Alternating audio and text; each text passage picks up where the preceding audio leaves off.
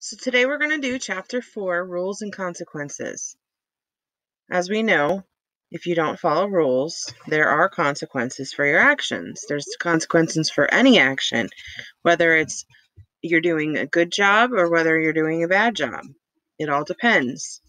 You can have good consequences and you can have bad consequences. Mrs. Coyle says it's time to vote. Students can vote for their five favorite rules. When the students vote, they choose the rules. They think they are the best.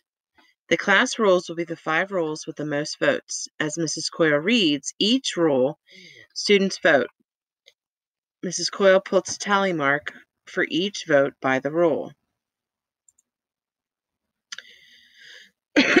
so the class rules were follow directions, listen, work hard, do your best, be nice to others, be prepared, be on time.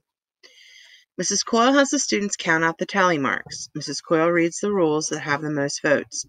The students agree that the rules they choose are important. The rules will help them stay safe and learn. These rules will keep things fair. What happens if we break a rule? asked Tiffany.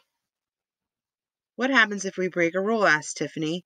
Mrs. Coyle says there are consequences for breaking a rule.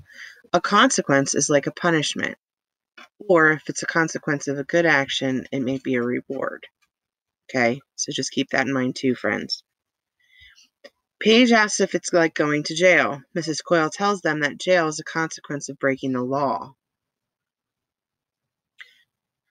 Mrs. Coyle says that is one way rules and laws are the same. There's a consequence when you don't follow them.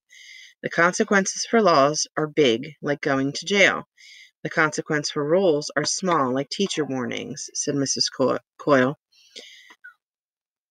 Or, like teacher warnings. Mrs. Coyle says they will add consequences to their rules list.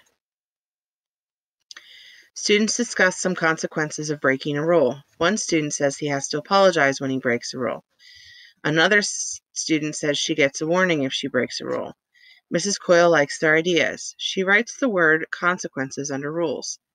Then she adds apologize and warning to the list of consequences. The class rules and consequences are done. The empty bulletin board is now full with a new poster.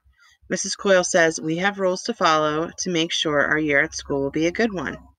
You all did a great job talking and voting on rules, just like our leaders do.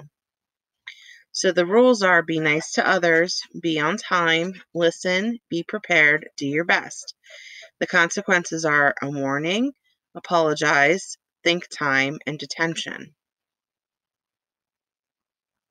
So I am going to then post on Seesaw um, questions and answers for you to do.